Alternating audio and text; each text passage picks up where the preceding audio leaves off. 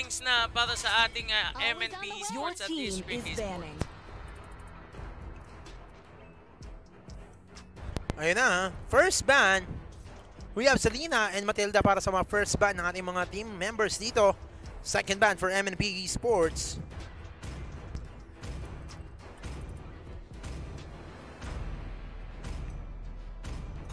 Come and join me.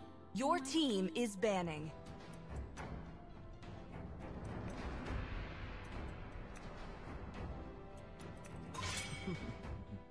Still Your swords. team is picking.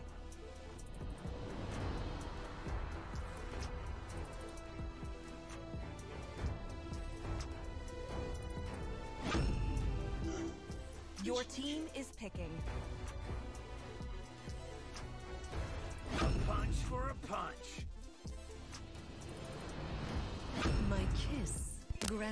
Uy, Alice at Pakito para sa ating East Creek.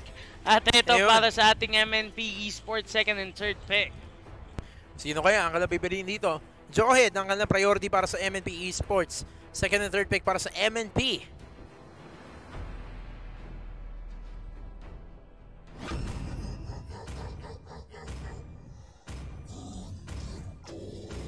Oy, Tamus ang kanilang second pick and then Hayabusa. So open Ruby para sa ating East Creek dito ha, or they can get a obvious but po rin ko pa ata ang plano na line. Yes it is. Last ban for East Creek. Esports. Sino kaya?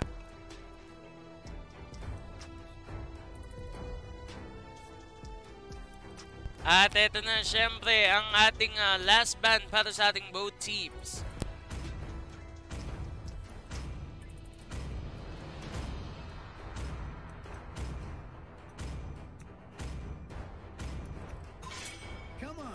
Dexter. Your team is banning. At ayun na, last ban. last band para sa ating MNP Esports. Your na. team is picking. Ayun, nakita ko na.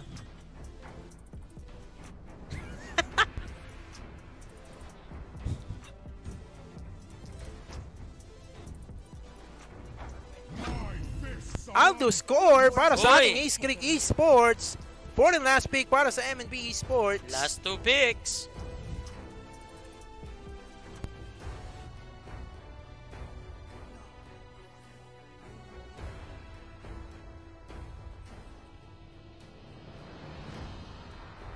I hope they're stronger than me.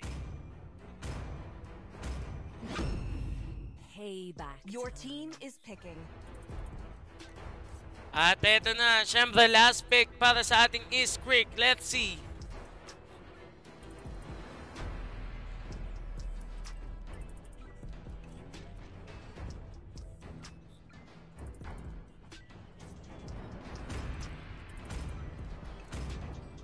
At ito na, Estes na ba para sa ating East Creek Esports. And Estes na nga at ito na MNP Esports laban sa ating East Creek Esports. Game number 1. Simulan na natin in 3, 2, 1. Let's go!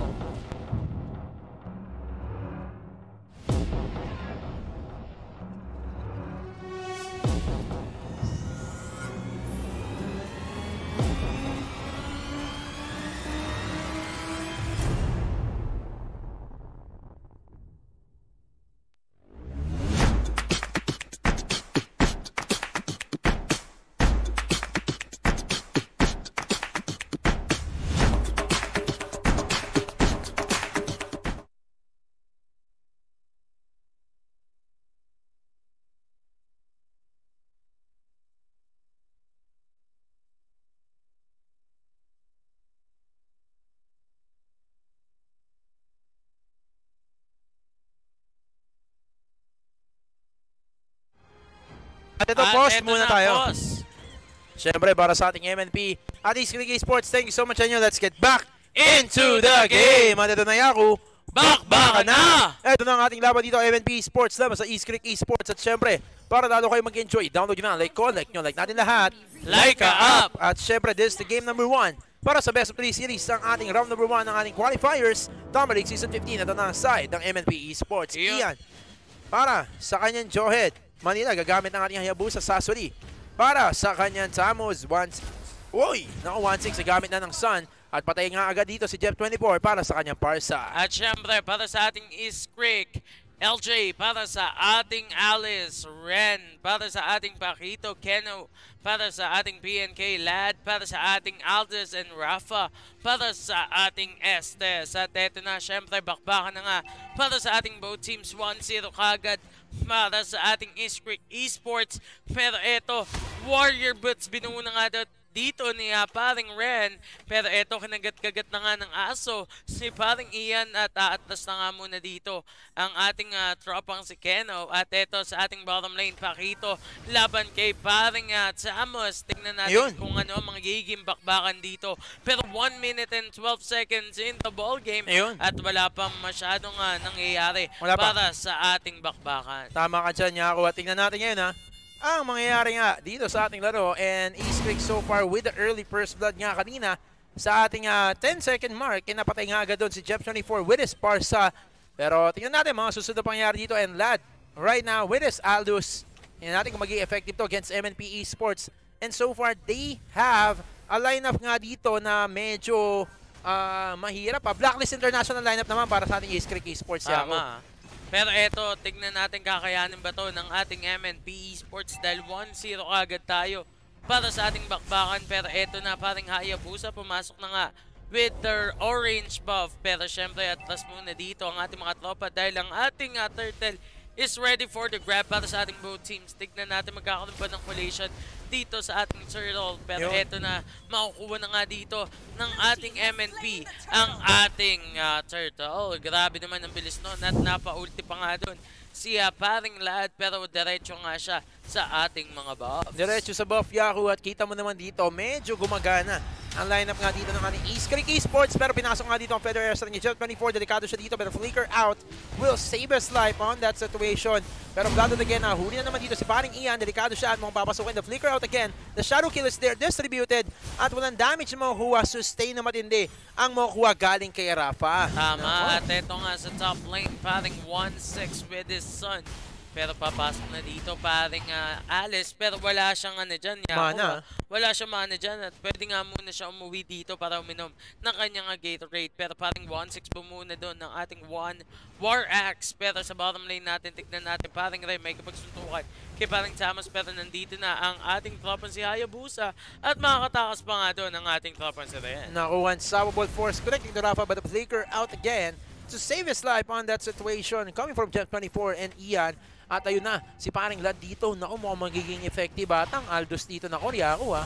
Pero yun, uy, nag-iipon nga lang. Federer Stark nanakap nga dito si Jeff 24, napigil ang aso ni uh, Popol dito na si Keng. Ah, Keno pala. Keng si Keno pala. Ah, sakit! Ay, Diyos ko, sakit na ni paring Lad dito.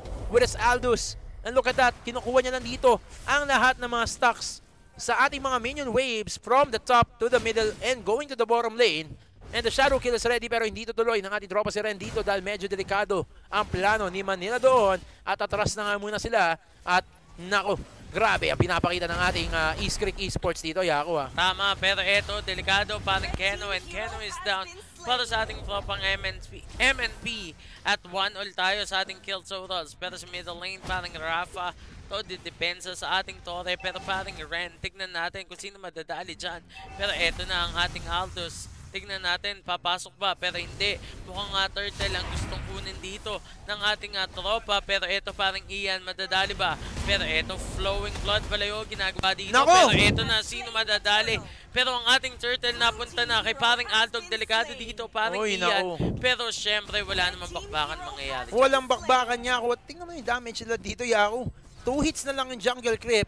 At yung mga minions niya, malamang one hit na lang yung mga nasa harapan niya ako. Tama. Sobrang taas na ng stocks niya dito. And look at that, bang!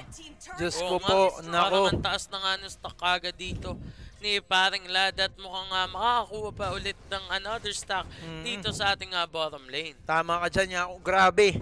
Ang ah, pinapakita dito, Blacklist International picking coming from East Creek Esports. And this game number one against MNP Esports. Unstoppable force, the ejector is there. Yung ating pakito si Red dito, takas lang siya, the shadow kill is there. Oh, grabe naman yung sustain niya ako. Walang Oo. magawa ang shadow kill dito sa sustain. Nadala ni Rafa sa kanyang Estes. At nako, grabe mukhang hindi ata makakabanda dito ang ating MNP in this uh, game number 1 against East Creek Esports. Tama, Yako. pero eto na, syempre, ang ating Aldos kuha muna ng mga stocks dito. Pero sa, sa top lane natin, ha, walang depensa ang ating uh, tropa nga dito na si Paring Alice. Masyadong uh, nagtatagal na nga siya dito sa ating middle lane. Pero eto paring Ian Delicado. Pero syempre, makakatakas pa yan. Makakatakas pa pero muntika na yun, Yako ha. Gabuhok na lang halos pero ito na nga, hinahabol siya ng Aldos. Nako, pero dito nuloy Yako dahil delikado rin. Kapag pinasok niya nga dito, ang tropa ng MNP Esports. Pero sa ngayon, wala pa tayong nakikita na malupit na matchup nga dito coming from MNP so far. And Lad right now as the game gets longer, he gets stronger nga dito sa kanyang Aldos. At syempre, palabas na rin ang ating susunod na turtle in the next 10 seconds. Nako, at ayun, syempre, At eto na, syempre, sa ating uh, middle lane. 200 gold lead lang pinapangalagaan dito ng ating MNP. Pero may nadali na nga si paring LJ. Naku po. Pero tignan natin sa ating middle lane. Paring Rafa kasama dito si paring Ren. Pero ang ating turtle kinukuha na doon ni paring Aldous. At syempre ni paring PNK. At last muna dito ang ang dalawang miyembro. Tignan natin sino kaya ang makakuha ng ating turtle. Pero eto na, tuloy-tuloy sa aggression lang si paring 1-6 sa ating bottom lane. At ang ating turtle nakuha pa ng ating MNP. Naku, delikado pa nga dito ang ating East Creek Esports. tama ka dyan. Kaya nag-atrasan sila Yako eh, pero simpleng bumabasag, di nila napapansin si 1-6 with his son dito sa ating laro. At right now, papasukin nga dito ni Lakeno. Delikado si 1-6 dito. Flicker out is there. Sabay yung mga illusion niya, magpapatakbo sa kanya. Nakaw ng orange buff pa, ginawa ni Ian dito. Wala nagawa sila sa ating Johe dito. Basta kami the lane. At ngayon, mukhang uh, laki bigla ng kalamangan ng MNP. And right now, they have an almost 4k gold lead and the Unstoppable Force Ejector combo. At two-man stand there, pero Shuriken hindi kinaya ang damage dito. Mukhang hindi na ata aabot ang ating Aldo sila Tama. dito sa full power niya, Yaku. Pero eto na sa ating middle lane. Siyempre, kukuha ba ng magnanakaw pa nga ng purple buff dito si paring Hayabusa. At eto na paring Farsa dito. Kasama nga dito si paring Manila. At ang ating purple buff nakuha na doon ni paring Hayabusa. At eto na ang ating Samus na sa top lane. Mukhang nga magsasama nga sila ni paring Joy dito. Pero ang ating ah, Manila, siyempre kuha muna ng kanyang mga buffs dito. Kuha lang muna, Yaku. At syempre, 5-2 ang ating score. And MNP right now with a 4k goal lead against East Creek Esports in this game. And our last turtle of this game will respond in the next 35 seconds. Pero so far, si paring Lat dito mukhang siya na nahihirapan dito sa ating laro. Although late game siya dito, pero yung mga kasama niya, ah, Alice, yes, 0-2 na dito. Yung Pakito at syempre yung ibang nga damages nga dito, sila lang ang aasahan. Bukod sa kanila, ay wala na. Double sustain lineup, unstoppable force. The ejector is there. Saan ka pupunta? Grabe, gangbang ang ginawa sa kanya. Walang ligtas. Nako, Tepok, ang tropa natin si Pakito. Pagsak pa sila at binabasagan ni 1-6. Grabe naman yung ating ah, unggoy dito, Yaku. Oo, yun lang talaga ginagawa ni paring 1-6 kanina pa. Talagang ah, basag muna ng Torre ang ah, iniisip niya nga dito dahil hindi sila pwedeng malate game ng ating East Creek dahil meron nga silang LJ at isang lad. Tama ka dyan. And nice feather airstrike coming from Jeff 24 para syempre mga zone out ang mga players or mga members ng East Creek Esports. At naku, di na umabot Yaku. Balak pang kunin yung turtle. Pero di umabot. Hindi umabot. Ang Lord. Jeff 24. Naging Lord bigla. At ito na syempre sa ating middle lane paring LJ. Syempre sama-sama gaming na nga dito ang ating East Creek at ang ating Lord syempre makukuha na dito ng ating MNP Esports coming from Hayabusa. Pero eto sa ating middle lane, clearing of lanes gagawin dito. Winter Transion, binuo na nga doon ni parang Jeff 24. Pero sa ating ah, bottom lane, makapal nga rin yung clips dito ng ating East Creek at kailangan i-clear ng lanes dito ng ating ah, MNP Esports. Tama ka dyan Yaku. So 7-2 ang ating score dito sa ating laro. And so far, sa bottom lane naman natin dito, nagmamarcha ang ating Lord. That is a level 1 Lord and I think that is more than enough to close out the game against East Creek Esports. Knowing that they ha- don't have the core items that they need right now in the stage of the game, especially ang isang LJ dito with this Alice, puro flowing blood lang ang magagawa niya dyan and the Bloodhound will just be used to clear the lanes on the bottom lane at sila dito kumukuha lang ng ating ah, stocks dito. Grabe yung feather airstrike sa pagpapalayo ng mga members ng East Creek Esports At ito, ejector! Saan ka pupunta, Rafa? Makapag-ulti ka pa ba? Hindi na! Papasok nga dito. Ating dropa si Lad. Nagwawala siya pero siya'y mawawala din. At nakutakbo na parang wala kasalanan. Iniwan yung kakampi niya. Grabe naman ang ginagawa dito ng ating MNP Esports. At ayaw papasok pa dito. Flowing Blood is there. Pero hindi sapat. The Winter Truncheon kakabili lang. Pero babasagin na nga dito. Hindi pa natuloy ako. Hindi na tuloy ng ating ah, MNP Esports pero top lane natin. Ito pa ang ating mga macho pa ng mga minions. Naku po. Tama. Pero eto na nga, buhay na nga sila parang Keno rin dito. Pero tignan natin magiging aggression pa ng ating MNP. Pero nag-aatrasan na sila. At syempre, sabay nakaw na lang ng mga buffs ng ating Esports Esports. Tama ka dyan, niya. Kunakaw, kunakaw na nga lang dito. And look at Manila right now. Talagang patience lang dito para sa kanyang Hayabusa. And I think we will wait another Lord here to close out the game against East Creek Esports. But so far, uh, kailangan nila mag-ingat dito para sa MNP Esports. Because as I've said earlier, as the game gets longer, the Aldos get stronger as well. Pero mukhang ipe-pressure push na ata ng ating MNP to. Laban sa East Creek Esports and on the bottom lane, malakas na rin si 1-6 dito. At habang wala nangyayari, item check muna tayo dito, direct para sa ating mga tropa. At eto na, item check Yun. muna tayo para sa ating, ah, syempre, Manila dito, Barag. Hayabusa, syempre, with the War Axe Endless Battle. At syempre, Malefic Roar with those Swift Boots. Pero eto, may collision na. Tignan Naku po. natin, parang nga,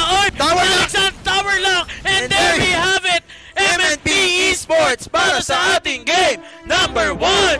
Finish that! Grabe ang ginagawa dito ng MNP laban sa East Creek Esports and look at that. They will take the game number one easily against MNP. With a very powerful lineup nga dito kahit nakakuha ng first blood. And the MVP of the game is of course, no doubt about it, Manila. With it, Hayabusa with 4 kills, noted and 3 assists. At syempre, well commanded